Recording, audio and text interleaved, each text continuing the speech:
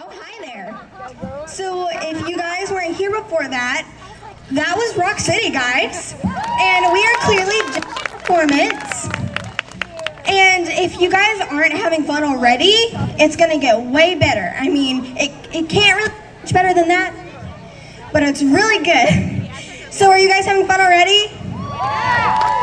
So I think I saw a um, jewelry, jewelry somewhere and a candle making.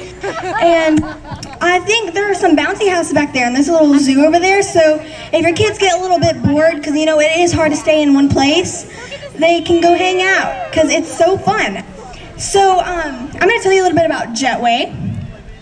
So we are a little studio back in Easton. We're kind of around like, we're in Hensley, I think. Around like the, yeah, we're around Hensley. And we teach kids how to play multiple instruments, bass, guitar, ukulele, um, drums. We also have a little acting uh, class. Yeah, we have a little acting class. It's really fun. So th this is um, Lunch Money Piranhas, and so I hope you guys have a great time.